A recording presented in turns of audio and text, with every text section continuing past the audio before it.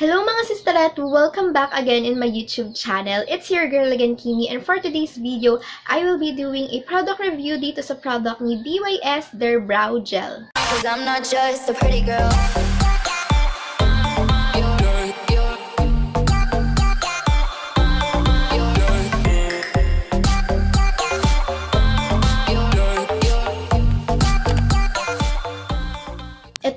Ito yung kauna-unahang product ni BYS na meron ako. And ito yung kanilang brow gel. And ito yung talagang sumikat at trending sa Facebook ng bonggang-bongga. Actually, mga sisterette, meron siyang papapel na packaging. Pero since ang tagal na nito sa akin, so ilalagay ko somewhere over here sa screen, ang tagal na sa akin ito, kaya naitapon ko na yung mismong packaging niya.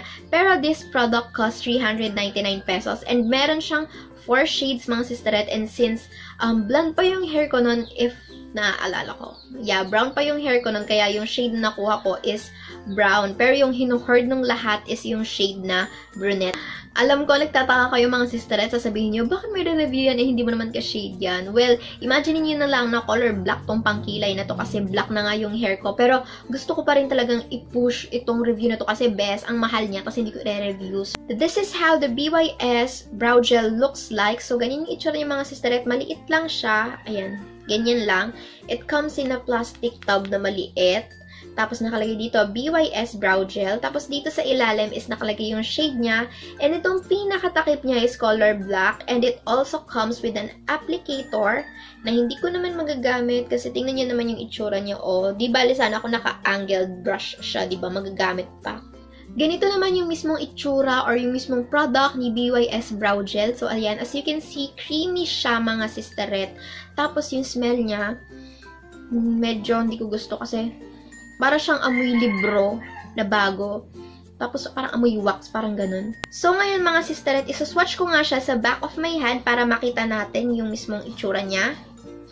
So, ayan. Ganyan yung shade na brown. And ang napansin ko is creamy siya. And maganda siya i-blend mga sister. At easy to blend nga siya. And sobrang grabe ang lakas or ang pigmented talaga niya nakakaloka. Pero yung shade niya is light.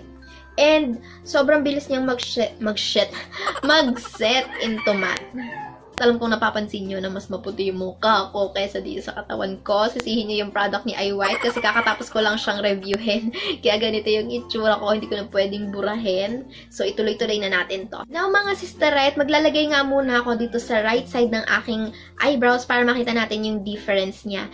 And magfo-focus ako mga sisterette kasi brow gel to, just ko, pakak na pakak. Ayan, no, tingnan nyo nga yung pigmentation niya. So, as usual, yung gagawin ko, ibabrush ko muna yung aking eyebrow hairs para talagang completely nakapattern na sila. Una ako mag start sa aking tail part. Sabi ko, moment of silence, pero nadaldal pa rin ako. Nakakaloka.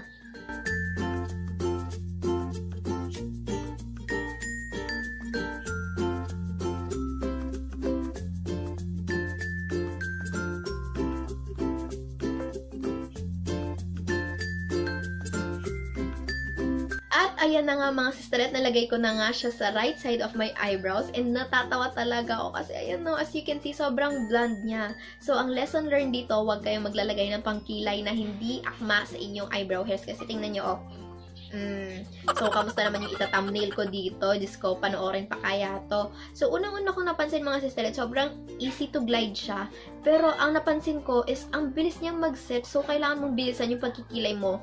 Bawal yung bagal-bagal. Next naman mga sister, it's maglalagay na ako sa kabilang eyebrows ko para talagang completely lokal-lokal na tong kilay natin.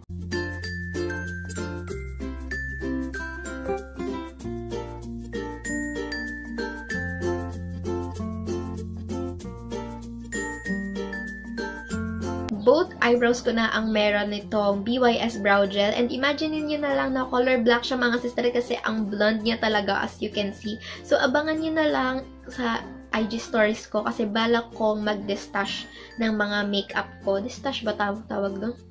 Destash nga ata. Detash? Destash? Basta some, something like that. So, ngayon, sabi dito, waterproof daw siya. So, ngayon, itetest natin if talagang waterproof nga siya. Meron na akong basang bulak dito. And ilalagay ko lang siya sa kilay ko.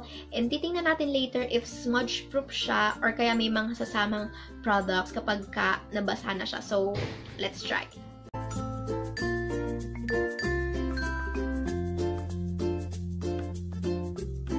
Ayan mga sister, basang-basa na siya. So ngayon, itry natin na smudge siya. Ayan, walang nasamang product. Nakakatuwa naman. So, ayan. Wala talaga. I swear, basang-basa, oh. And yung feeling niya kapag ka ginaganto ko siya, parang grabe. Parang plastic or something. Ayan, oh. That ganun, ganun, ganunin ko. Wala talaga. Smudge proof siya at the same time waterproof. Wow, ang bongga. Try naman natin dito sa kabila.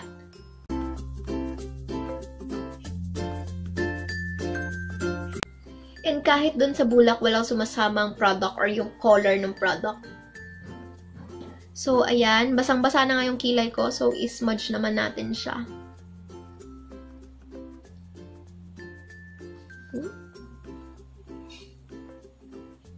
Wala talaga mga sister at hindi talaga magpapatalo to. Ayan mga sister, since nasaksihan na natin na waterproof siya and smudge-proof siya, now let's move on sa mismong overall review and thoughts ko about dito sa BYS brow gel. Sa price niyang 399 pesos for 2 grams, I must say na sa isang katulad ko na isang budgetera, pagdating sa mga makeup, I must say na hindi siya affordable. Talagang mahal siya mga sister. Sa performance naman niya sa brows ko mga sister, I must say na talagang grabe, napaka-pigmented, easy to blend, nagsaset siya into matte, tapos waterproof and smudge-proof siya. Kaya alam mong dun sa price niyang 399 pesos, talagang may pinaglaanan yung brow gel na to. Pagdating naman sa itatagal ng brow gel na to, since matagal na nga sa akin to, and na-test ko na to ng maraming beses, um, nagtagal siya sa akin for about one day. As in, one day talaga mga sister, no hulas-hulas talaga yun. Pero overall, okay naman siya sa akin if yung color niya is syempre match sa color ng aking hair. That's all for my video review for today mga sister. If nag-enjoy kayo sa video natin ngayon, you can click the like button.